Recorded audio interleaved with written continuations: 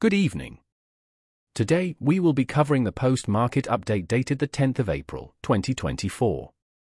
Indian benchmark indices ended higher on April 10th with Nifty hitting fresh record high.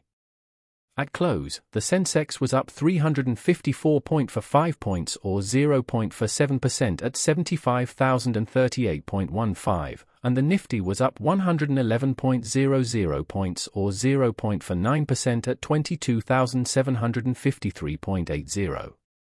Top gainers on the Nifty included Coal India, BPCL, Kotak Mahindra Bank, ITC, and Hindalco Industries, while losers were Cipla, Maruti Suzuki, HDFC Life, Divi's Labs, and SBI Life Insurance. Talking about the corporate segment, we have Shares of Reliance Infrastructure fell 20% on April 10 and were locked in the lower circuit at 227.4 rupees, after the Supreme Court ordered its airport metro arm to refund arbitral award payments made by the Delhi Metro Rail Corporation. The Supreme Court accepted DMRC's curative petition and overturned its earlier ruling, which said that the public transporter was liable to pay about 8,000 rupees crore to Delhi Airport Metro Express Private Limited.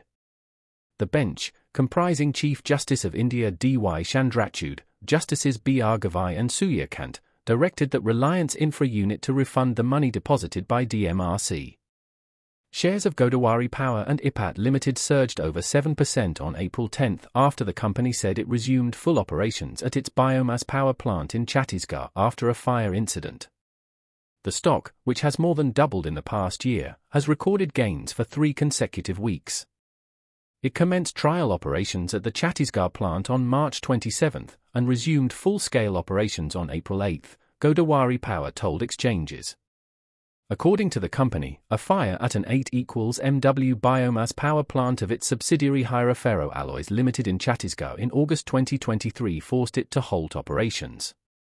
Shares of Ramco System zoomed 19.99% on April 10 after the aviation software specialist signed a multi-million dollar deal with Korea's largest airline Korean Air for tech support at its new engine maintenance complex.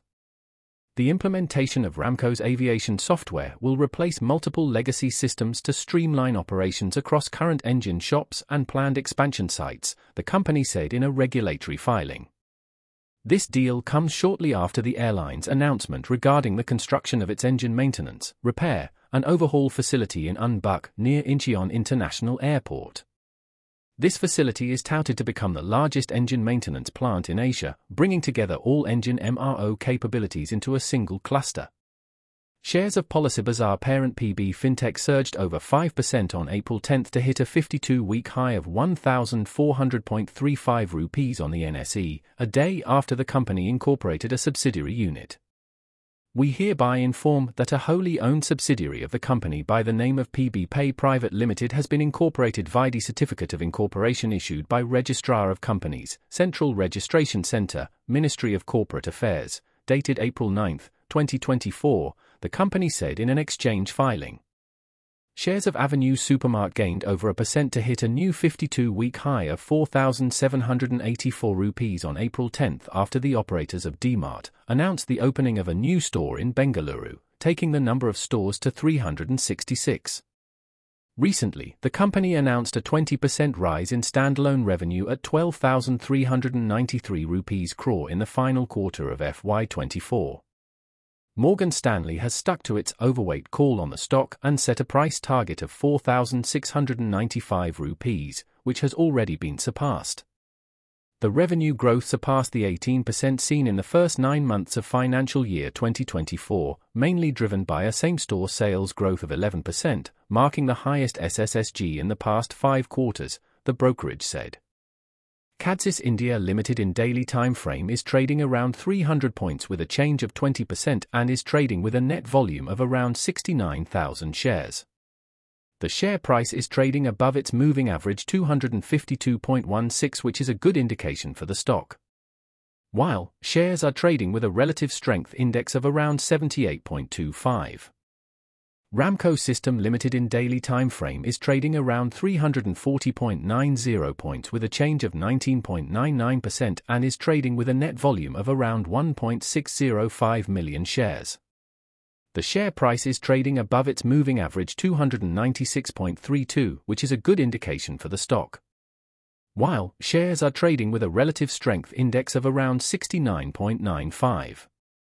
Oriana Power Limited in daily time frame is trading around 1134 point for 5 points with a change of 15 point for 2% and is trading with a net volume of around 214.4 thousand shares.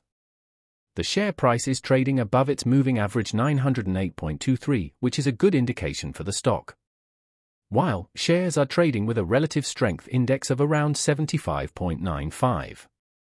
For the stock recommendation we have, IRCTC Limited looks good and can be bought at 1023 rupees, keeping a stop loss of 993 rupees and a target of 1055 rupees. You can reach us via phone, WhatsApp, or email using the information listed on the screen. Thank you for joining us today. If you found this video informative, please give it a thumbs up and don't forget to subscribe for more financial insights. And, as always, if you have any questions or topics you'd like us to cover in future videos, leave them in the comments section below. Until next time, happy investing.